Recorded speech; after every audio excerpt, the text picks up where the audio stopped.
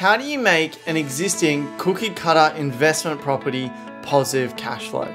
Hey, I'm Ryan from onproperty.com.au helping you find positive cash flow property. But what if you already own a property, a standard cookie cutter property? Maybe it's a new build, maybe it's an existing property that isn't a new build. What if you already purchased that property? It's negatively geared. How can you flip that around and generate some positive cash flow and turn that property into a positively geared property? This is an absolutely great question that was asked to me by Adrian. So thanks for asking that question, Adrian. If you got questions, guys, send them to ryan at onproperty.com.au so I can create a video about them. So there are two ways, just two ways. Okay, there's a lot of different ways, but they all come under two main umbrellas to convert a negatively geared property, a cookie cutter property, into a positive cash flow property.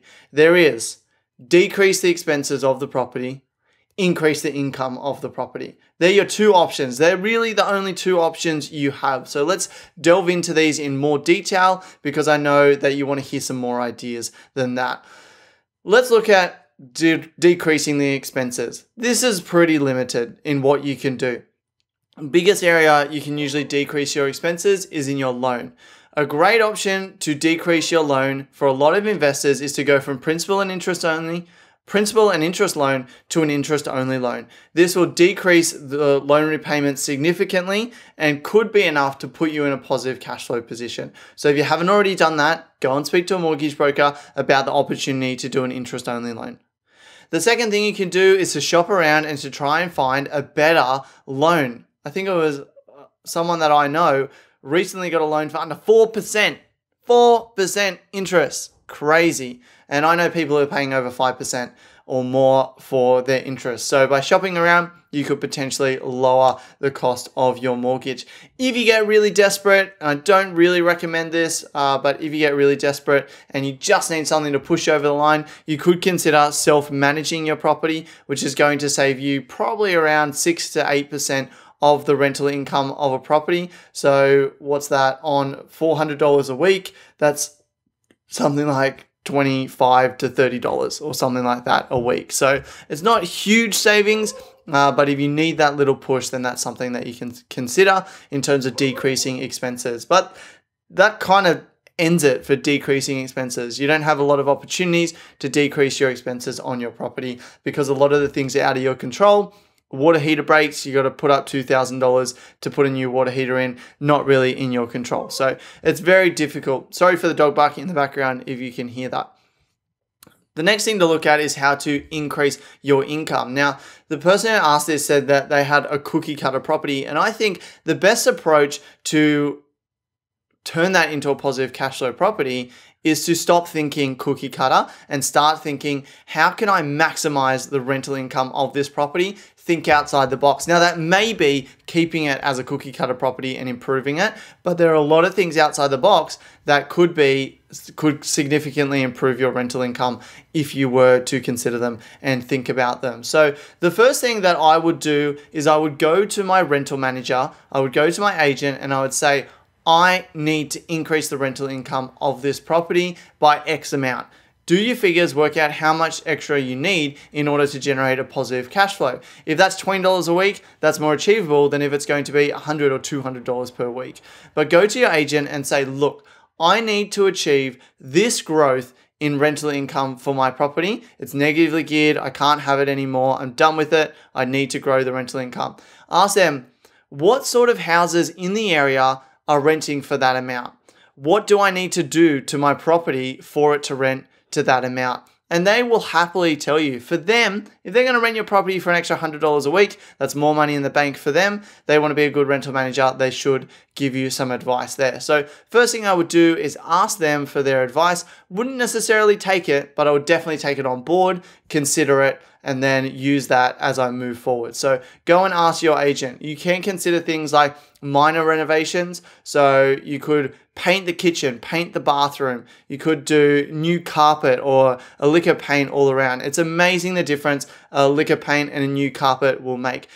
As a renter, there are a lot of properties that we see online that have bright blue carpet. And basically, my wife, she sees the bright blue carpet and she clicks next. We do not go and view that property unless we are really desperate because we do not want to live in a property that has bright blue carpet. Same goes for a pink bathroom or a really ugly kitchen. It's amazing what you can achieve with some white paint to improve an old bathroom or an old kitchen. It's amazing what you can achieve with some fresh, neutrally colored carpet. Not bright blue, not, you know, all these crazy colors, something nice, something modern. And so something like that, minor renovation, could set you back a couple of hundred to a couple of thousand dollars, but could get you a significant increase in your rental income if you do it correctly. You could also consider major renovations. Now, I consider major renovations things like adding an extra room or putting an extension on your property. Maybe it is gutting the kitchen and redoing the kitchen to a higher standard or doing something like that to the bathroom need to be really careful where your money where you spend your money and again great to go and ask the agent and say, look, I've got some money to do some renovations to this property. Where's it going to be best spent? And they can give you some advice on that. So, major renovations could help increase the income above the money spent so that you can generate a positive cash flow. You can also consider some outside of the box things like dual occupancy. So, converting what is a single dwelling, so maybe it's a four bedroom house where you can only have one tenant, into a dual occupancy property where you've got two two bedroom houses that you can rent out both of them. You could potentially increase the income there. Obviously, you need to check with council and things like that if you're allowed to do that. You could consider student accommodation as well. So, by renting out by the room, to students or actually to anyone, uh, you can get a higher value rent for your property there. You could look at Airbnb as well. Now, this is an outside of the box way of doing it, but I know friends of mine who have rented out their property for, I think they got like $7,000 in the space of four to six weeks for their property, which if they had rented it out full time over that period, they probably would have got you know, somewhere between two to three thousand dollars. So this was peak holiday period, and so they got a lot more money for it. Uh, but that's something that you could potentially consider uh, is Airbnb the property. So dual occupancy, Airbnb. You could consider building a granny flat out the back. Again, check with your local council. But there's a lot of companies out there, a lot of builders who will build you a granny flat. Uh, Generally, I see the cost around $100,000 to build a two bedroom granny flat. In some areas, like in Sydney, it can be really easy to get these done. And then you can rent them out for significantly increased rental incomes. You know, they've seen granny flats renting for that cost $100,000 renting for $400, $500 a week in the right areas within Sydney. So granny flats are something to consider.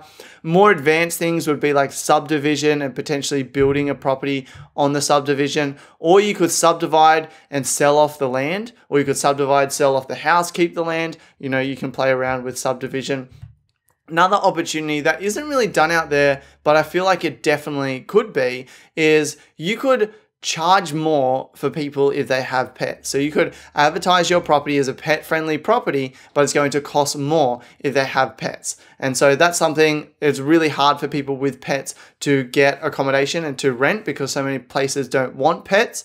Well, if you do your numbers and you say, well, I can get an extra $20, $30 a week because I'm allowing people to have pets, maybe that will push you over the line. Lastly, some things to think about. Um, firstly, are you claiming depreciation on your property and are you claiming it correctly? Have you had a depreciation schedule done? Because if you can claim more depreciation, you can potentially get more tax back, which could put you in a positive cash flow situation. Now, obviously, speak to a quantity surveyor, speak to your accountant about this but definitely getting a depreciation schedule done so you're maximizing your tax deductions is going to help get towards that positive cash flow situation. And then the last suggestion that I have is quite outside of the box, and that is to consider selling your property via vendor finance. Now, this is where you sell your property to a new buyer, just like you would sell a property to anyone, but Instead of them going out, getting money from the bank and paying you in a lump sum, you're actually extending a loan to them. So you're saying, I will sell you this property, but you just need to pay me a deposit of X amount, and then I'm going to charge you an interest rate of X percent.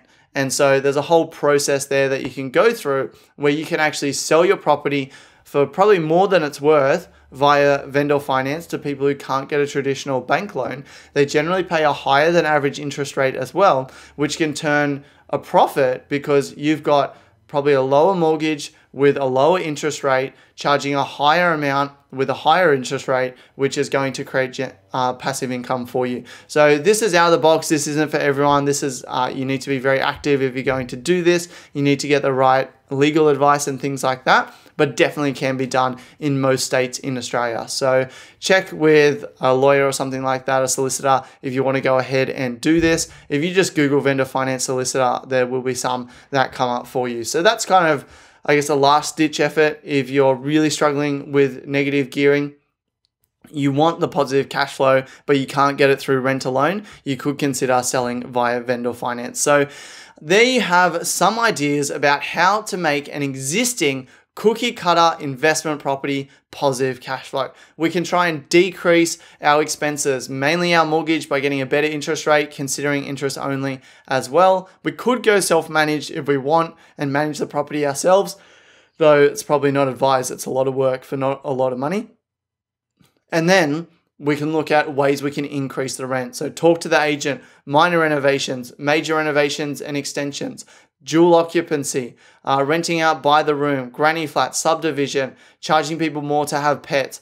Look also at your depreciation, make sure you're maximizing your tax deductions, and lastly, you could consider selling via vendor finance. So, I hope that this has given you some ideas with whatever property you have. Generally, people who have cookie cutter properties, if it's brand new or something like that, can be very difficult to increase the rental income for the property. You really need to get outside of the box. You really need to think about different things, get to understand your market, think about, okay, in what scenario, in what situation will this market pay more for my property than what they're currently paying? Because often the suggestion of asking your agent, they might not have any ideas. They might just be an agent who is happy doing open for inspections, um, you know, collecting rents, and that's about it. They might not be super creative thinkers. And so sometimes you need to really get creative with your thinking, look at the market, assess the market, like go through and assess a lot of different options